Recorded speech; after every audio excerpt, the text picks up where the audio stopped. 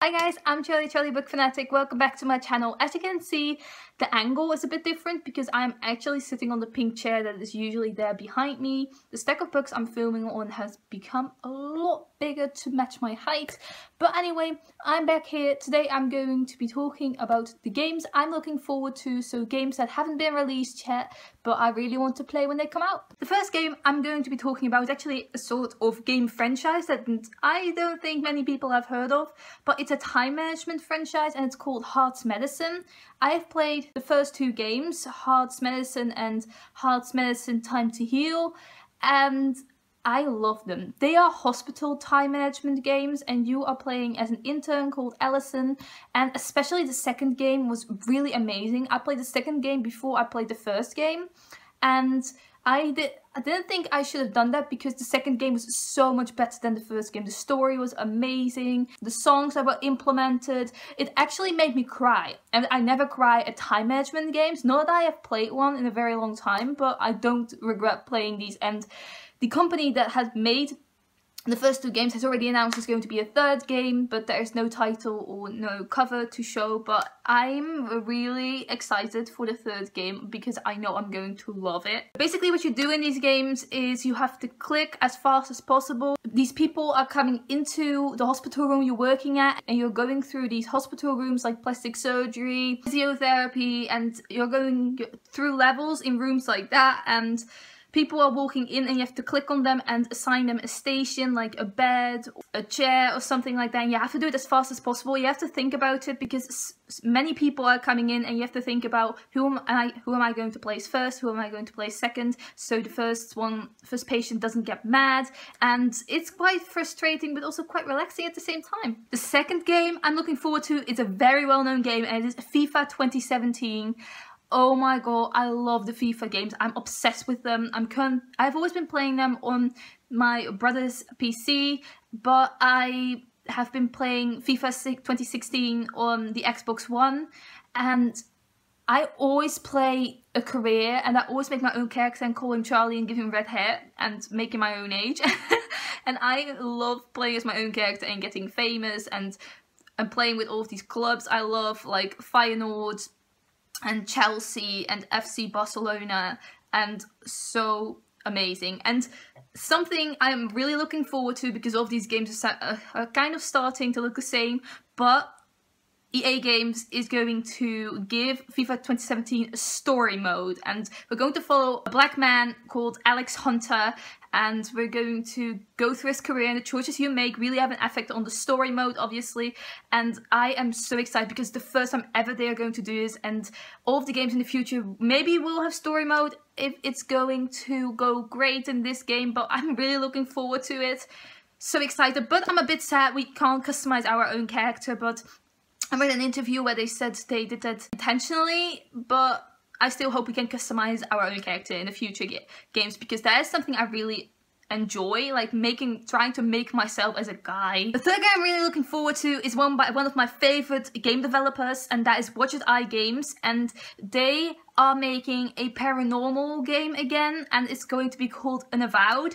There isn't really known anything about it. We have seen some graphics and we know a summary of it, but we don't know a release date yet. And I recently saw it on their site, but it has been announced for a little while, but it wasn't on the homepage, it was on under the games tab. But I have played all of their games and I enjoy them. They really make these pixelated art style games and they put in their commentary. You can turn on commentary mode and then you can listen how they produce the game and bloopers and things like that. And I really enjoy it. I'm currently replaying Shardlight, which is another game. They the most recent game they came out with and I've already played it once and I'm going to replay it just to listen to their commentary because it also has spoilers so they give you a warning to not turn on commentary mode when you play it the first time.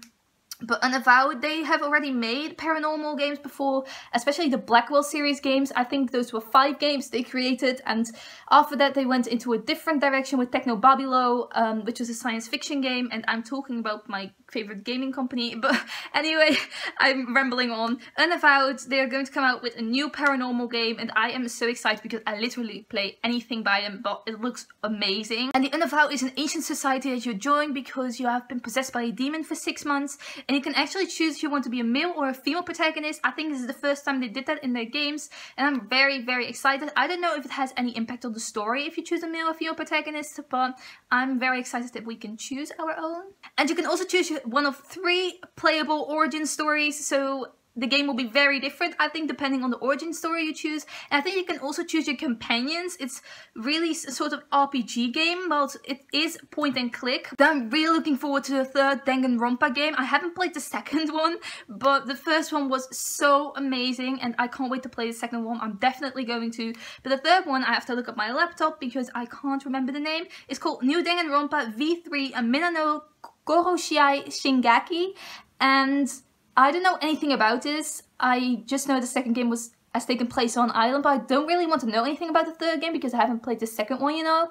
But I am still really excited because the first one was really good. These are visual novel type games, but also RPG because you can walk around in first person, I believe. At least that was the case in the first game. But the second game, I think you just scroll around and you click on the place you want to go to. Anyway, I really loved it. You basically read most of the time, but I know the first game was it was the case, the storyline was you are getting locked up in this school and with a lot of other people and to get out you have to kill someone and all the other people can't find out it's you and then all the other people get killed and you get out. But obviously everyone finds out who has done it, investigations ensue, and the people and if they find out you were the one that killed the other person, you get executed by a really cute teddy bear called Monokuma. And the second game has a pink bear, which I'm really excited about because different character, but Monokuma was my favorite character in the first Danganronpa game. And I don't know if he comes back in version 3, but I can't imagine a Danganronpa game without him anyway. The third game I'm excited about, I've already played, it has been out for a long time, and it's Star Trek Online. And is a free-to-play MMO, and it has been out on PC. I played it on PC a while ago and I've played it for a long time. You can create your own character and create your own background, make an alien species, everything. Really, really cool.